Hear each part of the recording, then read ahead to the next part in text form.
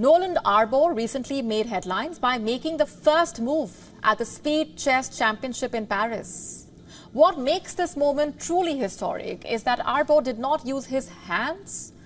Instead, he moved the pawn using only his mind. Arbaugh is the world's first recipient of a brain chip developed by Neuralink, which is a brain-computer interface company founded by Elon Musk.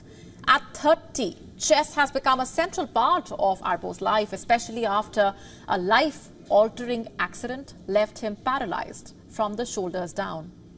Before receiving the chip, he played chess online using a mouth stick. But everything changed when he received the implant in January. And now his brain controls the pieces. Neuralink released a video showing him uh, playing chess just a month after his surgery. This is with the help of a chip which has 64 threads connected to 16 electrodes. With the implant, thinking about a move is enough to execute it.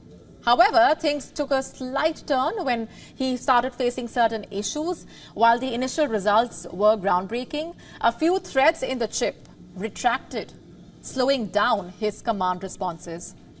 In July, a second patient received a refined version of the implant with the issues fixed, and his functionality has since improved as well.